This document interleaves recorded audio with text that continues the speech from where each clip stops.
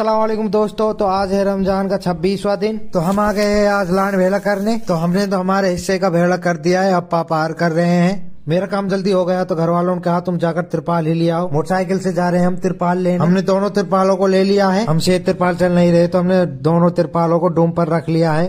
तिरपाल को खेत में बिछाने के बाद अब इस पे हम लान भेला करने वाला है। तो अब मावसी के खेत का भी लान भेला हो चुका है। हमारी बकरी लाइट के पास पहुँच चुकी थी क्योंकि यहाँ पर तार लटके हुए कभी पकड़ ले तो हम बकरियों को लेने आ चुके हैं। तो अब दोनों खेतों को लान भेला हो चुका है। अब जाने वाले हैं हम घर। तो ट्रैक्टर को लेकर अब जा रहे हैं हम गेहूँ कुटवाने और ट्रैक्टर को जुनेद चला रहा है। हमारे ही आगे थरेसर का ट्रैक्टर जा रहा है। थरेसर के घनसों की तेज धार कर रहे हैं जिससे कि तोड़ा अच्छा निकट सके। अब गेहूँ कुटना स्टार्ट हो चुका है और डायरेक्ट ट्रॉली में हमारा ना जा रहा है। तो हमारा गेहूँ कुटने के बाद अब आ गए हम परिधरण के गेहूँ कुटवाने।